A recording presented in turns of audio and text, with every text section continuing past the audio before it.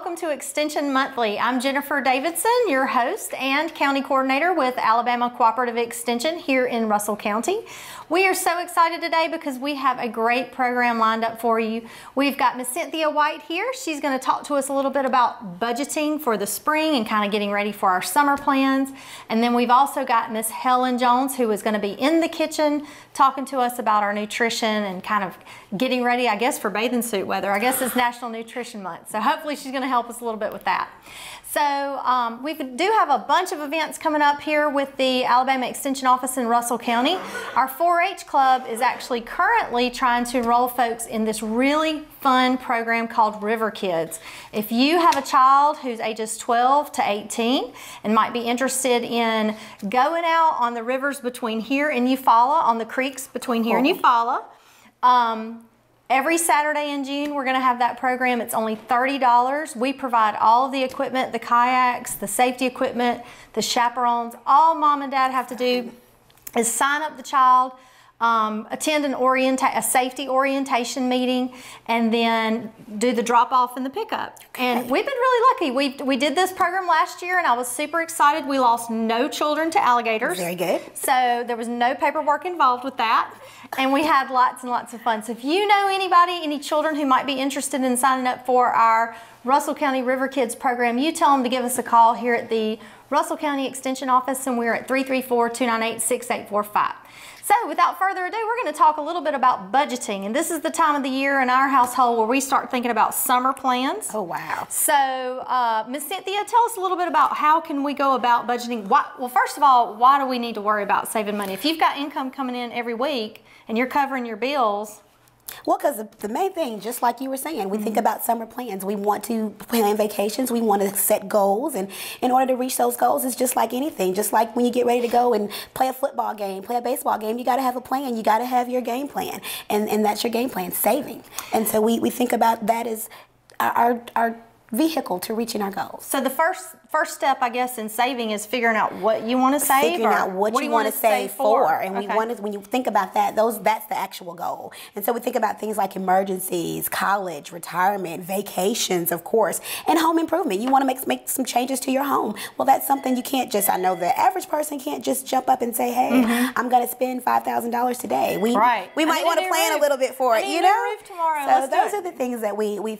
don't realize that we just need to do a little planning, and that planning is simply saving. And if you own a house, it's always something. Something Needing. is always going to come up. I mm-hmm. trust that. I've had mm-hmm. a major one to hit me just last week, so mm-hmm. I know that something, something always. always. comes up. Yeah, very good. So, um, in after you've you've decided your goal. Um, give us some tips on how you might reach that goal. Well, you think about little strategies. things that you you would think normally that's not just a way to, to come up with something, but it's simple things like um, breaking some of our habits. Mm-hmm. Just maybe not eating out so much. I mm-hmm. know it's so convenient, but that's one of those simple things that we could change just a little bit. Thinking about when we get those b- bonuses, you may get a bonus, Christmas bonus mm-hmm. or something, get a little extra money. Sometimes we get those tax refunds. Mm-hmm. Rather than just going out and spending, mm-hmm. think about ways we can save those and cut back a little bit, change some of our spending habits, you know. Um, think about some of those pre-tax mm-hmm. when if we have like flexible spending accounts mm-hmm. that are available through our mm-hmm. employers it was always beneficial to sometimes use those and that cuts back on some of those pre-tax you know expenses right save a little you mentioned the flexible spending account i know um, where we work, we have the opportunity to do that. And it tells us when we put the money in that bank account or that little account that we use for medical or daycare expenses, mm-hmm. it'll tell you, you, this year you've saved X number of exactly. dollars. And it's, and so it's amazing. Mm-hmm. Mm-hmm. You'd be surprised how much you can save on simple tips like that. I would say, though, on those flexible spending accounts, be sure you read the fine print, know whether you have to use them all up or yes. if it's use and, it or lose it, that kind of thing. And know exactly what you can spend it on. Mm-hmm. Because sometimes you may put some money there thinking you'll be able to use it for certain things, and it actually is not, you know, an allowable expense mm-hmm. on your spending account. Very so, good. Very good. So, um, give us some other strategies on how to. Um, do you do you write all this down once a month or well mean, that's always the best plan mm-hmm. you know it's always good to have a budget to mm-hmm. do a spending plan write it down that makes you more I guess, accountable mm-hmm. because you're holding yourself accountable. Mm-hmm. You're able to go back and look at it. You're able to see exactly where your money's going. Mm-hmm. Um, that that always makes it easier. Um, so, are, what about additional income? Some people say, well, look, I literally do not have any wiggle room in this budget. So, is that another option? That's always an option. You think about, okay, you may have some talents or some skills mm-hmm. or even some time that you may be able to offer in, in return for some extra expense and mm-hmm. extra income.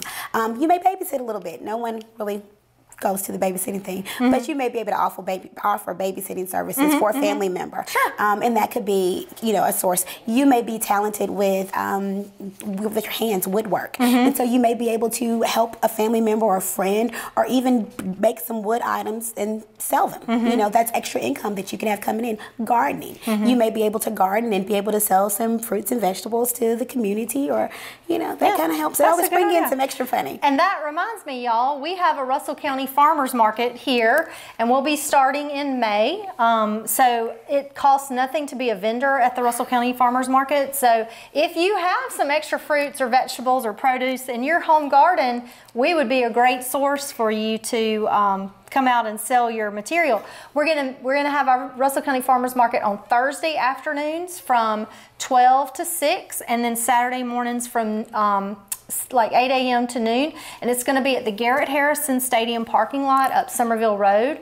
Um, but if anybody has any questions about the Russell County Farmers Market, feel free to call us here at the Russell County Extension Office and our number is 334-298-6845. That was just a that was an aside. I just thought of that right But it's then. awesome because that's still a way that they can bring in some extra money. Absolutely, absolutely. Well, any other tips you want to leave with us for this summer, for this well, spring and summer? When you think that's awesome, that's the mm-hmm. major tip. But when you think about that savings, a lot of times it's easier to actually use some of the savings vehicles. You know, certificate of deposit, um, an actual savings account. Yeah. Because we can put it in our piggy bank at home, but mm-hmm. it's a little easier if you're able to access it readily then it doesn't always make it to that actual goal. Mm-hmm. So. Or maybe not access it so readily. Yes. I know if you put it in your checking account, maybe you then might be more you, apt to. Exactly. You're more apt to use it on some of those day to day expenses or thinking, hmm, I can replace it. But mm-hmm. it's easier if you put it in a, a, a straight savings account or even maybe a CD, something where you're going to actually be penalized for taking it or going into it early. Mm-hmm. And that kind of helps you. You're going to actually reach your goal at that point. What do you think about this? So, at our house, we have a lot of family members and we have several children. And there are times where I've said,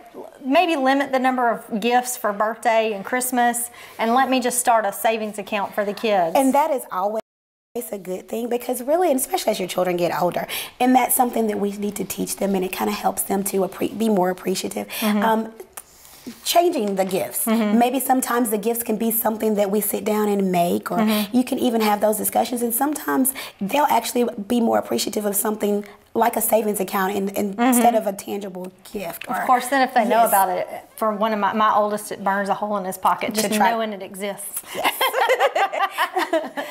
well, thank you so much, Cynthia, for being here. Well, we appreciate you. it. And um, if anybody wants to learn more about savings, um, how would they go about like setting up a class well, or something like that? They can contact us here at mm-hmm. the Extension Office, the Russell County Extension Office.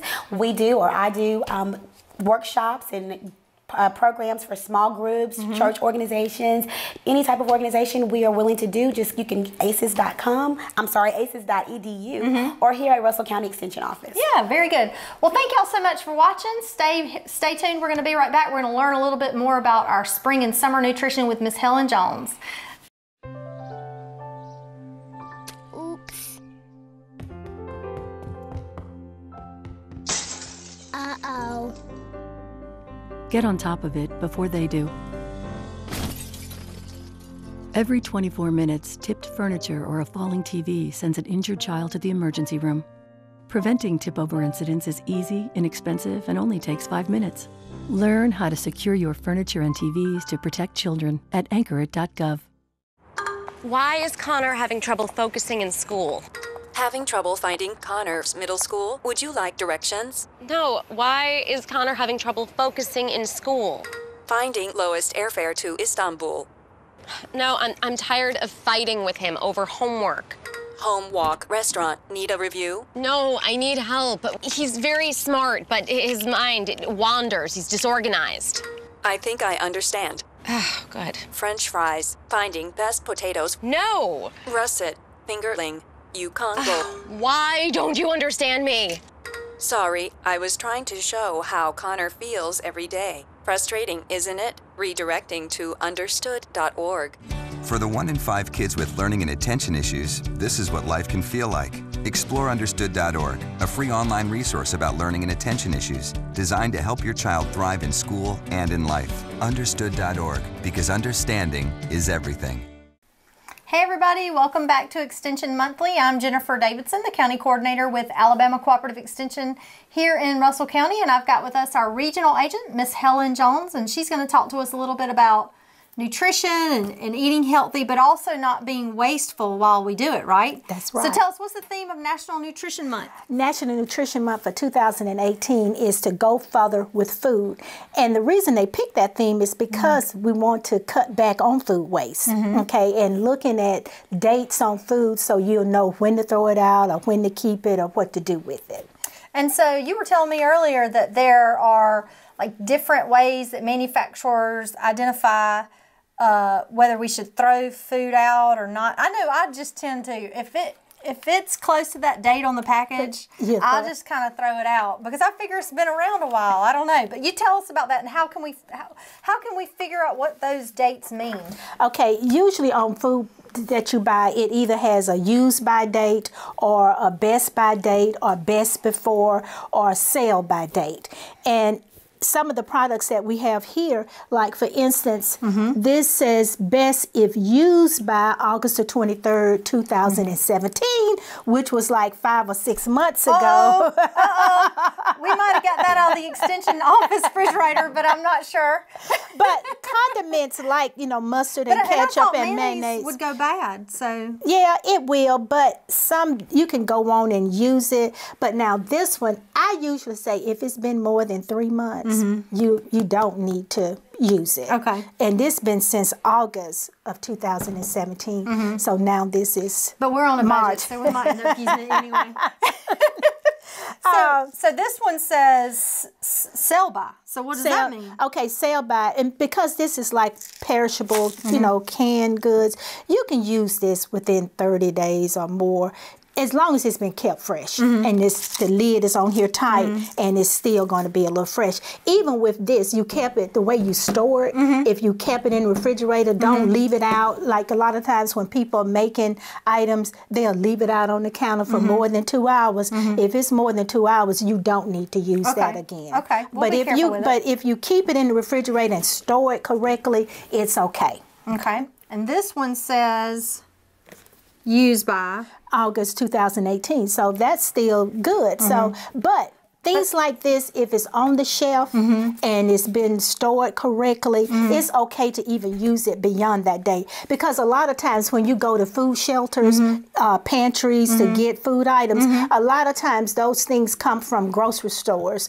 and they put them in those and they're still good because mm-hmm. they hadn't been opened and it was stored, you know, at a good temperature and you can still use it. Okay. okay. So what what does it mean? Which which one of these mean absolutely you have to throw this product out after the date. Okay, if it, it, says sell by dates that are used for perishable foods like meats mm-hmm. and dairy products, it's possible these foods can be used a few days after the date as long as they were stored at a safe mm. temperature. Mm. Okay. Now, for milk, for instance, I take it upon myself if it says expire by March, let's say March the 20th, mm-hmm. I would use it five days, at mm-hmm. least five days after that well, day. and on it milk, is, you can smell it if Yeah, bad. you can smell it and you can tell if it's not good. I got three kids. We've never had a bad thing of milk in our in the in the 15 years I've been married.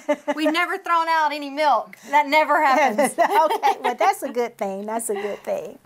All right. Uh, so some of these other products, let's see if they say use by or this one says sell by. Okay, it says sell by, and that's October uh, 17th, 2018. So this would still be good. And even after that date, if it hadn't been open, see, this hadn't even been open. Mm-hmm. So even if it was past the sale by date, mm-hmm. it'll still be good. And then similar to this canned good, canned good. it says best if used by. by. Yeah, because a lot of times after this date, if it says best if used by that date on the end of the can, like this is. Uh, 2019. Half time you can't read the you numbers.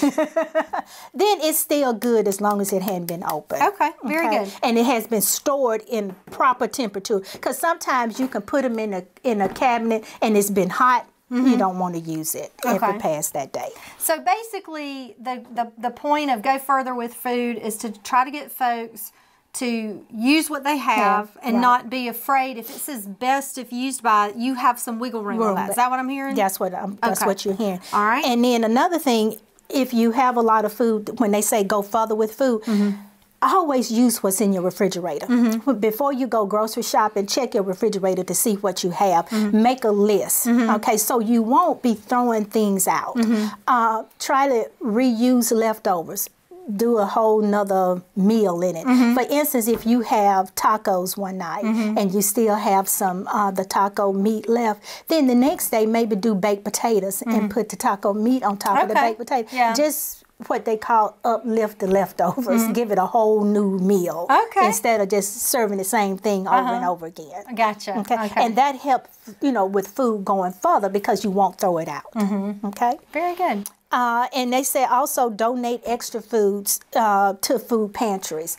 You know, make sure it's still not past the, the, the use by date, but if it hadn't been open, you can still donate that to them. Because people's a lot of people out there that need food that don't get it every day. And so what you have left that you know that you're not going to use, donate it.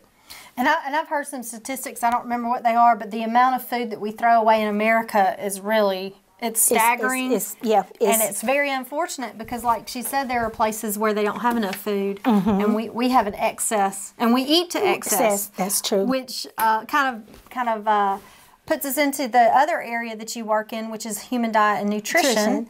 So, um, do you want to talk to us a little bit about maybe one of your uh, recipes that you use in your programs? Uh, the program that I've done here in Russell County several times is Rite Bite.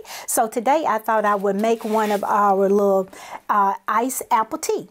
And it's real simple, you know. And I said, well, it's getting to be springtime, summertime. If you want to have something cool that doesn't have a whole lot of calories, because this is only like 30 calories, 8 grams of carbohydrate, no fat, no protein, uh, only 10 milligrams of sodium.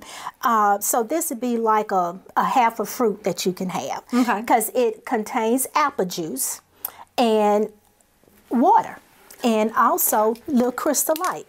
And I've already put six cups of water. It calls the recipe calls for six cup of cold water and two cups of apple juice. And I'm gonna put this is a two two cups of apple juice. And so, Miss Helen, if anyone would be interested in having a um, series of classes on nutrition, how would they how would they go about or, organizing that? Okay, uh, if you're interested, this one particular Rite Bite, we've cut it down to four lessons, uh, and we can do it. Just call the extension office if you're interested in having at your church, in your community, anywhere you have a group of people to come. We can come and actually do the program, and it's four lessons, and this is one of the recipes that we'll share, you know, with the group. Okay. So we add two cups of apple juice to the six cups of water. And then it calls I for opened that for just one tub of Crystal Light. And I use the lemon flavor. And then you can also use just a little drop of what they call calorie iced tea. And you just That's like just like a flavoring. hmm And this one is lemon flavor, and you just put one drop. Think I got the some? t- top's not open. Maybe. Yeah. Might not be squeezing it. Oh, Might put a little too much in. that'll just make it more flavorful. We're gonna test it here in a little bit. Okay. Um, so if you're interested in signing up for Rite Bite or having any other sort of nutrition, healthy eating programs with your group, you can give us a call at the Russell County Extension Office at 334-298-6845 and we can help you set that up. Um, well, Miss Helen, can you tell us anything else? So go, go further with food is this month's Theme theme. And we want to encourage everybody to save, Save and uh, watch what you're buying. Eat all your food. You reuse your leftovers and try not to waste. Very good. So hopefully that'll help us out, Russell County. You'll be able to eat healthier Healthy. and save money because you're not buying too much, right. and limit the waste. Um, again, I wanted to mention that we have the River Kids program that we're signing up. So if you have any kids that are teenager age and would be interested in getting out on the rivers um, between the creeks between here and Eufaula in the month of June, um, just have them call our office. Our number is 334-298-6845. Also visit us on our website. We're at www.aces.edu and you can also follow us on Twitter, like us on Facebook. We try to put all of our events up on there. Um, and of course, give us a call at our office 334-298-6845 if you have any questions or you need any help with anything we've covered today. Thank you so much for watching and Miss Helen, thank you so much for being here. Thank you. We'll see y'all next time.